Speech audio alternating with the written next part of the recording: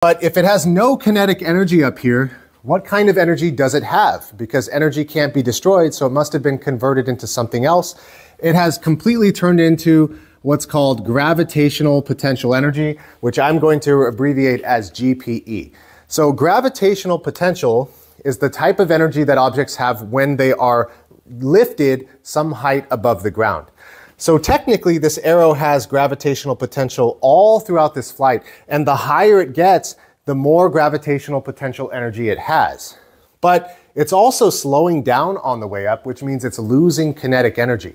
So its kinetic energy is going down, but its gravitational potential is going up. And that's because that kinetic energy, due to its motion, is being transformed into potential energy due to its height. And at some point, it has no more kinetic energy and it has pure potential. But then it starts to fall again, which means it's losing height, so it's losing potential energy, and it is gaining speed again, so it's gaining kinetic energy. So now that GPE is starting to turn back into kinetic energy again, and it's going to get more and more and more of this and less and less and less of this.